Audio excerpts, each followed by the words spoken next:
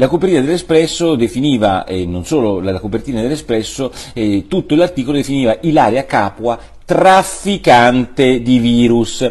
Il foglio fa bene perché ricorda anche che eh, definì cinica strategia commerciale, quella di questa scienziata nel frattempo parlamentare, di trafficare sul virus. Ceppo dell'aviaria, altri dicono che eh, ha isolato invece una parte del DNA dell'aviaria, quello che conta è che è una grandissima scienziata italiana che ehm, fu accusata dalla Procura di Roma, dal grandissimo Pignatone, fu accusata di eh, fare traffico di virus, che non era il mio vecchio programma, ma sono virus, ceppi di virus mortali.